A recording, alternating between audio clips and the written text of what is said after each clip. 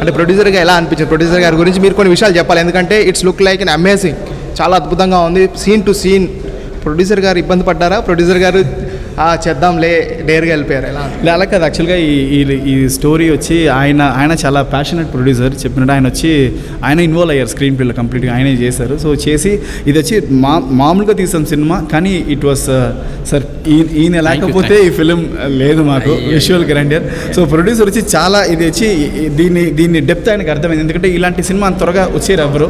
So ఆయన వచ్చి చాలా ఎఫర్ట్స్ వేసుకుని అవే సినిమాలో మొత్తాన్ని చేశారు. సినిమా కాకుండా ప్రమోషన్స్ ఇలా విజువలీ ఛాలెంజ్ వాళ్ళకి ఈ రథాన్ని డిస్ట్రిక్ట్ డిస్ట్రిక్ట్ పంపించడానికి అన్ని చాలా చేసిన వల్లే మాకు అంత క్రౌడ్ పుల్లింగ్ వచ్చింది.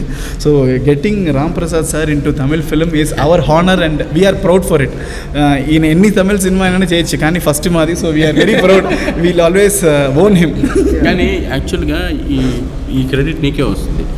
నేను మీ సినిమా చేసినప్పుడు ఎంత భయపడ్డానంటే ఇట్ ఈస్ లైక్ ఎన్ని సినిమాలు చేసినా ఒక్కసారి కూడా భయపడ్డా ఎందుకంటే ఫస్ట్ టైం మనం తమిళ్ ఇండస్ట్రీకి వెళ్తున్నాం.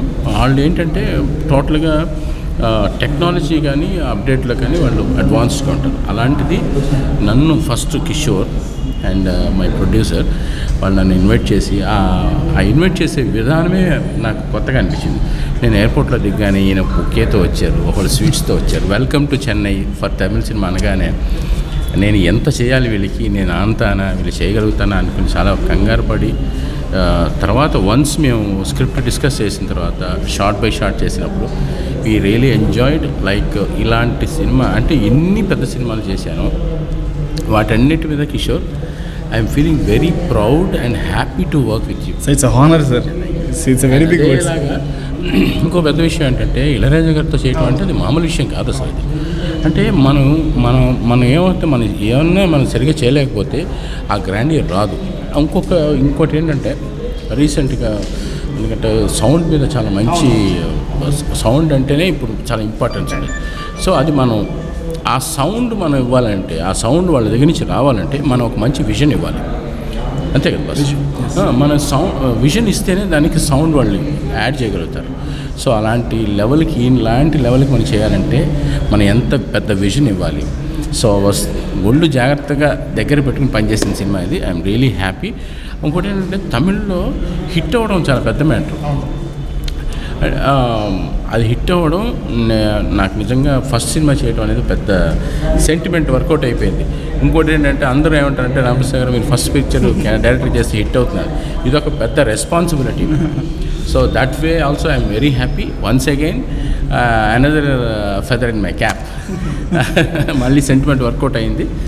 అండ్ తెలుగులో కూడా చాలా బాగుంటుంది అని అనుకుంటున్నాను. ఎందుకంటే తమిళ్ కంటే మనకి తెలుగులో కూడా బాగా ఇలాంటి సినిమాలు బాగా ఆదరిస్తారు. మిస్టరీ చాలా బాగుంది. ఇంట్రెస్టింగ్గా ఉంది. ఎందుకంటే దేవుడు సినిమా కాదు. యాక్చువల్గా దేవుడు ఉన్నాడు దాంతోపాటు సైన్స్ కూడా దాంతో ఎలా మింగిలై ఉందనేది ఒక ఫజల్ లాంటిది. ఒక క్యూబిక్ తిప్పుతుంది సరే. What I say that one Rubik cube. ఆ రూబిక్ క్యూబ్ ఎలాగ మనం ప్లే చేస్తామో ఆ సినిమా కూడా అట్లా ఉంటుంది that is the best example I think I can tell mind will be biggest blockbuster అవుతుంది. కంపల్సరీగా. క్లియర్గా హండ్రెడ్ పర్సెంట్ ఈ సినిమా చాలా బాగా నచ్చుతుంది జనానికి. అండ్ ఆ లో బడ్జెట్లో అలాంటి సినిమా తీయడం అనేది thanks to Kishore and good script and మళ్ళీ మళ్ళీ మీకు సినిమా చేయాలనుకుంటున్నాను అడుగుతున్నాను. My honour sir it's my మా అదృష్టం. Thank you. Thank you thank you